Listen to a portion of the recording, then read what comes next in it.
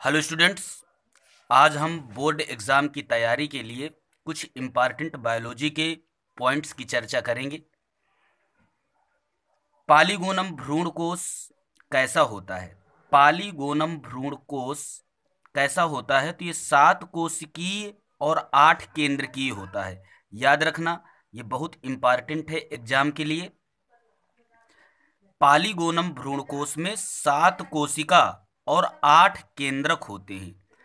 अंड उपकरण अंड उपकरण किन से मिलकर के बना होता है? तो एग अपैरेटस आपने नाम सुना होगा।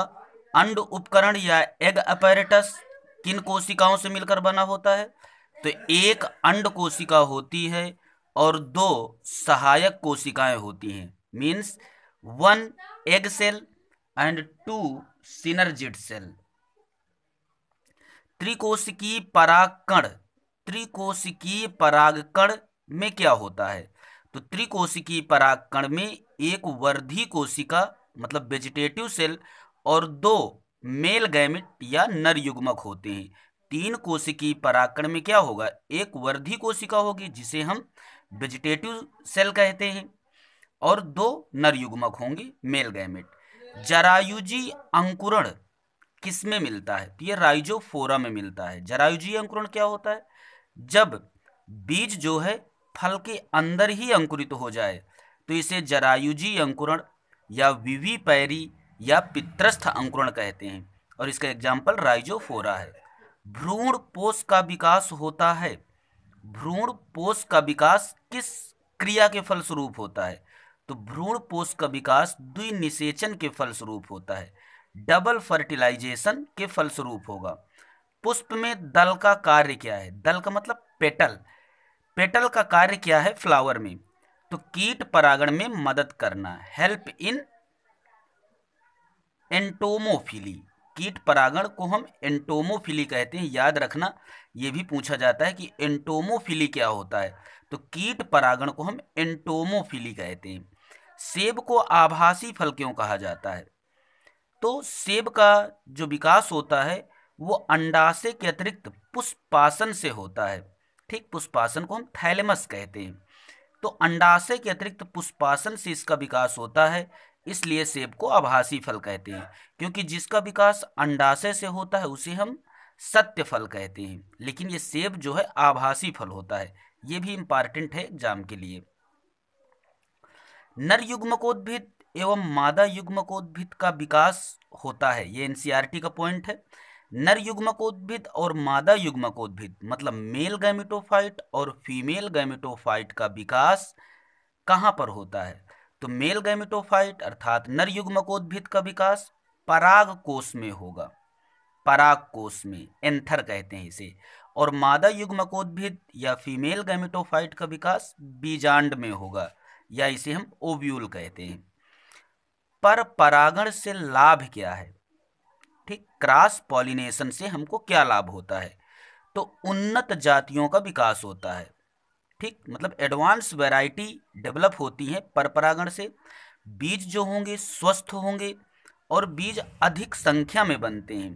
तो ये पर परागण के लाभ हैं। क्या है? उन्नत जातियों का विकास होगा, बीज स्वस्थ होंगे और अधिक संख्या में बनेंगे। वहीं पर परागण से हानि क्या है? डिसएडवांटेजेस ऑफ़ क्रॉस पॉलिनेशन क्या होगा? तो बाह्य साधनों पर निर्भरता। मतलब पर परागण में हमें बाह्य साधनों पर निर्भर रहना पड़ता है। तो इसलिए ये निश्चित नहीं रहता है कि पर परागण कब होगा, कितने समय होगा। तो ये बाह्य साधनों पर निर्भरता, ये हानि है पर परागण की। और इसमें अधिक ऊर्जा हानि होती है। क्यों? क्योंकि ज़्यादा मात्रा में परागकण उत्पन्न करता है, उत्पन्न करना पड़ता है, इसलिए अधिक ऊर्जा की हानि होगी पर परागण के द्वारा। सुप्तावस्था या प्रसुप्ति क्या होती है, इसे हम डॉर्मेंसी कहते हैं। तो बीज अंकुरित होने की अक्षमता मतलब बीज जर्मिनेट नहीं हो पा रहा है, इस अक्षमता को हम सुप्तावस्था या प्रसुप्ति कहते हैं। अनिषेक फलन क्या होता है? तो बिना निषेचन के फल निर्माण की प्रक्रिया formation of fruit without fertilization is called the parthenocarpy तो अनिषेक फलन को हम पार्थिनोकार्पी कहते हैं। इसमें निषेचन नहीं होता और बिना निषेचन के ही फल बन जाया करता है। अच्छा अनिषेक फलन को प्रेरित करने वाला हार्मोन कौन सा है? अनिषेक फलन को प्रेरित करने वाला हार्मोन, ये कोई आक्सिन है और इसका नाम है एन ए ए। पूरा नाम नैप्थलीन एसिटिक एसिड। तो ये अनिषेक फलन को प्रेरित करता है। ये भी इंपॉर्टेंट है एग्ज़ाम के लिए। मनुष्य द्वारा स्वेच्छा से कराया गया परागण क्या कहलाता है? मतलब मनुष्य जब अपनी इच्छा के अनुसार परागकणों को वर्तिकाग्र तक पहुंचाता है, तब इसको हम कृत्रिम पर परागण कहते हैं, कृत्रिम परागण कहते हैं और इसे हम आर्टिफिशियल पॉलिनेशन कहेंगे। तो मनुष्य अपनी इच्छा के अनुसार परागकणों को वर्तिकाग्र तक पहुंचाता है, यही कृत्रिम परागण है। वायु परागित पुष्पों की विशेषताएँ क्या होती हैं? तो वायु परागित पुष्पों की विशेषताएँ पुष्प अनाकर्षक होते हैं मतलब उनमें अट्रैक्शन नहीं होता है। उनके पुतंतु लंबे होते हैं। पुतंतु का मतलब होता है फिलामेंट तो पुंकेसर के जो फिलामेंट होंगे, वो लांग होंगे, पराग कण हल्के होंगे मतलब पॉलन ग्रेन लाइट होते हैं। पुष्प छोटे फ्लावर स्मॉल तो ये वायु परागित पुष्पों की विशेषताएँ हैं, ये भी इंपॉर्टेंट है एग्ज़ाम के लिए। साल्विया में परागण किसके द्वारा होता है? तो साल्विया में परागण कीटों के द्वारा होता है। ठीक तो ये पूछा जाएगा, ये विकल्प का पसंदीदा क्वेश्चन है, विकल्पी क्वेश्चनों का विकल्प में अक्सर ये रहता है। साल्विया में परागण, कीट परागण मिलता है इसमें। उभय लिंगाश्रयी क्या होते हैं? इनको मोनोईसियस कहते हैं। तो उभय लिंगाश्रयी का मतलब जब नर व मादा पुष्प एक ही पौधे में उत्पन्न हो। ठीक मेल एंड फीमेल फ्लावर एक ही प्लांट में जब उत्पन्न होते हैं, तब इस स्थिति को हम उभय लिंगाश्रयी कहते हैं। उदाहरण क्या है इसका? लौकी है। ठीक, लौकी है या कद्दू है तो ये कुकर बिटेसी के जो मेंबर होते हैं, ये सब उभय लिंगाश्रयी रहते हैं। एक लिंगाश्रयी को हम डायोसियस बोलते हैं। तो नर व मादा पुष्प जब अलग अलग पौधे में होते हैं, तब इसको हम एक लिंगाश्रयी बोलते हैं या डायोसियस बोलते हैं और इसका एग्ज़ाम्पल साइकस है।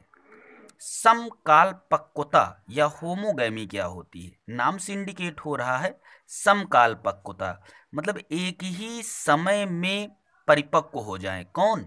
नर एवं मादा जननांग।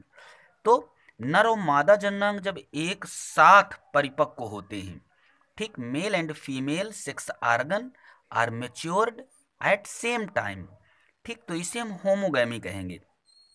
पूर्व पुमपक्वता क्या होती है? इसको हम प्रोटेंड्री बोलते हैं। यहाँ पर भी नाम से पता चल रहा है कि पूर्व माने पहले पुमपक्वता माने पुंकेसरों का परिपक्व होना। मतलब जब नर भाग मादा से पहले परिपक्व हो जाता है, तब इसे हम प्रोटेंड्री कहते हैं। भ्रूण पोषी बीज, ये क्या होते हैं? ये भी इंपॉर्टेंट है, भ्रूण पोषी बीज और अभ्रूण पोषी बीज, इनके एग्ज़ाम्पल विकल्प में पूछ लेते हैं। तो भ्रूण पोषी बीज क्या है? बीज में भ्रूणपोष उपस्थित हो। भ्रूणपोषी बीज है ना? तो जिस बीज में भ्रूणपोष उपस्थित होता है एंडोस्पर्म प्रेजेंट होता है, उसे हम एंडोस्पर्मिक सीड या भ्रूणपोषी बीज कहते हैं। इसके एग्ज़ाम्पल हैं मक्का, गेहूँ कोकोनट और ये जौ। मतलब ज़्यादातर जो एक बीज पत्री पौधे होते हैं, वो भ्रूणपोषी बीज होते हैं। अभ्रूणपोषी बीज क्या है? बीज में भ्रूणपोष नहीं होता है, ठीक? एंडोस्पर्म अपसेंट इन सीड तो इसे हम नॉन एंडोस्पर्मिक सीड कहते हैं और इसके एग्ज़ाम्पल हैं, चना है, मटर है, मूंगफली है, ठीक? तो ये आपके बोर्ड एग्ज़ाम के लिए बहुत इंपॉर्टेंट पॉइंट हैं। Thank you for watching